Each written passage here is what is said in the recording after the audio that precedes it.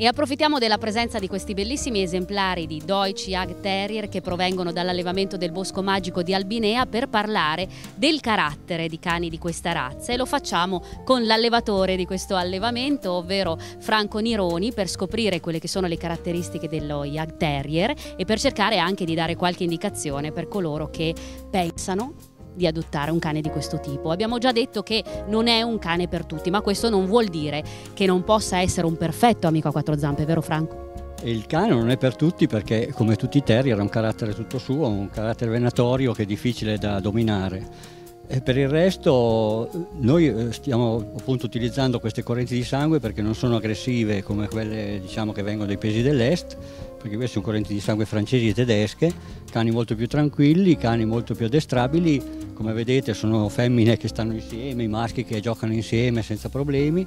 eh, certamente vogliono, vogliono addestrati eh, appunto fin da cuccioli per poter stabilire con questi cani un certo, un certo rapporto. Comunque lei, eh, Cristina qua che si occupa appunto delle, eh, dell'addestramento, dell'educazione di base di tutti i cani, anche non, non, solo terrier ma anche di altri cani, lei è proprio quella più, più adatta anche a spiegare come, come fare appunto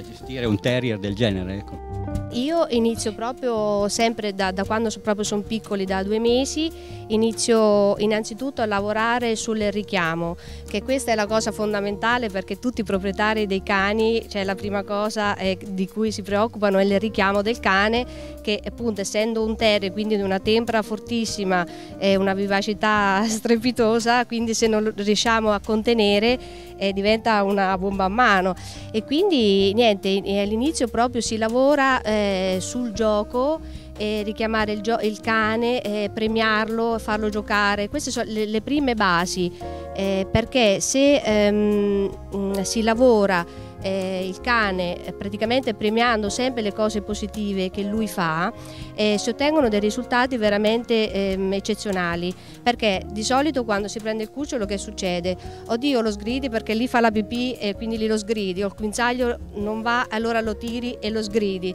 eh, si va da qualche parte non vuoi lo sgridi, gioca con degli altri cani e quindi cioè, è un lavoro praticamente sempre negativo che lui fa, invece bisogna cercare di resistere a questa tentazione di eh, sottomettere il cane e invece di lavorare su ogni cosa che lui fa eh, positiva e premiarlo. Perché delle volte si sta per dire non so il cucciolo è in casa eh, di solito si dà dei premi così proprio perché ci gratifica noi stessi. Invece noi dobbiamo premiare eh, mh, i comportamenti che loro fanno e, e praticamente focalizzare questo comportamento se è un comportamento positivo. Uno Yag Terrier, se correttamente allevato, a livello di carattere, quali soddisfazioni può dare? Ah, eh, cioè per me è un cane eccezionale perché comunque eh, essendo molto, un cane molto attivo eh, innanzitutto riesce a addestrarlo ehm, su molte attività e, e, quindi cioè, tipo non lo so ecco, se mm, c'è una famiglia che ha anche dei, dei ragazzi che eh, si, possono, si, possono, divertire magari facendo agility eh, che è questo sport eh, dove si corre con il cane, si fanno dei salti e, mh, mm, eh, tant'è vero che anche uno Yak Terrier è stato anche campione del mondo, quindi voglio dire quando si parla di addestrabilità, quando uno pensa che questo cane non è addestrabile non è assolutamente vero perché lavorando eh, sulla psicologia del cane e quindi sul comportamento si riescono a ottenere dei risultati eccezionali.